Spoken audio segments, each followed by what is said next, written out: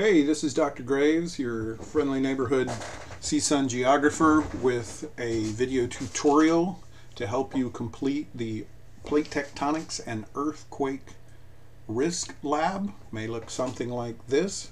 At least it does in Moodle until we abandon Moodle and go with something else. So uh, to begin with, you probably already have Moodle or your learning management software open. Type in my CSUN software in a search engine and log in. Oh, it jumped. I had recently logged in, so I uh, was allowed to skip through the uh, login and password part. Um, hopefully it goes as smoothly for you. Click on ArcMap 10 to launch the software. Click Allow. Click Open and the software should begin to launch.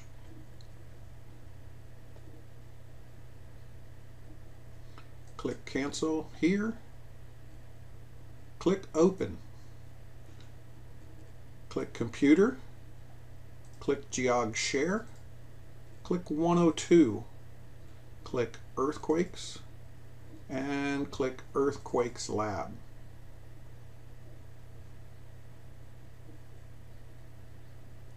When the lab opens, you may see this view.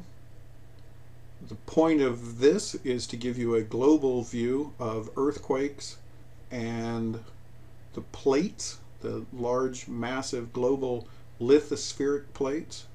I'm going to turn off the earthquake layer.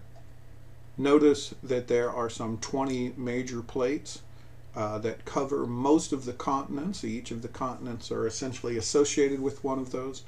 And that where these plates uh, brush up against each other, there are boundary types. And I'm turning that layer on and off.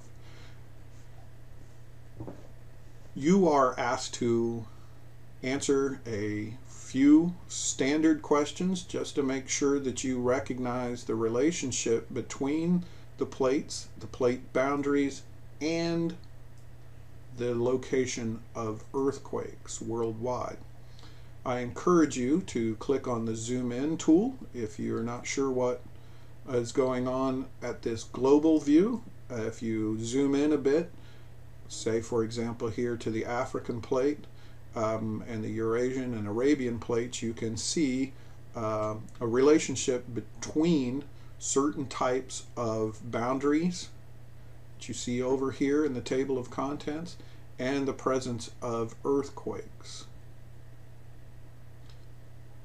Um, you are asked to answer a, a, few standard questions just to make sure that you recognize uh, the plates. That should be the less difficult part of this uh, lab. Once you have answered those questions, and you're ready to begin the Southern California portion of this exam. And essentially, you are asked to think of yourself as an insurance actuary, someone who estimates risk to buildings and uh, schools and um, roads, that sort of thing. But in this instance, you're going to look at some shopping malls uh, here in Southern California and to estimate the risk of damage to them should earthquakes occur so that you might help set the rates. The next step